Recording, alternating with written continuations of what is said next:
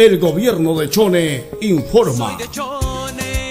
Hoy en la revisión técnica vehicular nos encontramos para conocer cada uno de los procesos que tienen que pasar varios vehículos que llegan a esta dirección. Vamos a conversar con el ingeniero Osvaldo Acosta, quien es director eh, de la Dirección Tránsita Vehicular del municipio de Chone, para conocer cuál es el proceso que se está llevando adelante. Buenos días, ingeniero.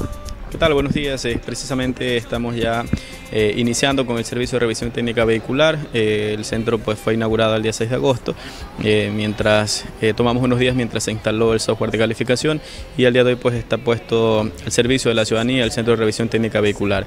cabe indicar que hemos iniciado primeramente con el transporte público y comercial de las diferentes compañías y cooperativas que están en proceso de renovación de su permiso de operación a nivel provincial. Entonces, eh, un poco para eh, trabajar de manera conjunta con la agencia de tránsito hemos iniciado con ellos y posteriormente estaremos anunciando la fecha en que iniciemos con los vehículos particulares. Por lo pronto estamos eh, solamente con estas dos estas dos modalidades, público y comercial de la provincia, y ya después entraremos con los vehículos del cantón.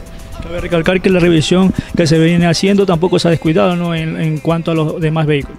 No, por supuesto, tenemos dos equipos, el equipo que trabaja en, el Centro de Revisión Técnica Vehicular y el equipo con la revisión visual, porque estamos trabajando con ambas eh, hasta el momento. Eh, cabe indicar pues, que estamos en un proceso de prueba, si cabe el término, eh, porque es la adaptación a un nuevo servicio con el que no contábamos en Chone, entonces este centro de revisión entró ya en su proceso de prueba, el vehículo pasa por todos los módulos de, de, calificación, de medición, y luego pues el sistema arroja un resultado, el cual puede ser el vehículo aprobado o condicionado, aquel vehículo lo que está aprobado se le entrega su certificado, aquel que sale condicionado pues se lo envía a un taller mecánico a que haga las respectivas eh, correcciones o arreglos a su vehículo.